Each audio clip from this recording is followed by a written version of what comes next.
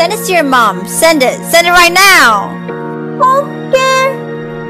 Okay. Pulling out the whip from the box, telling me that you forgot.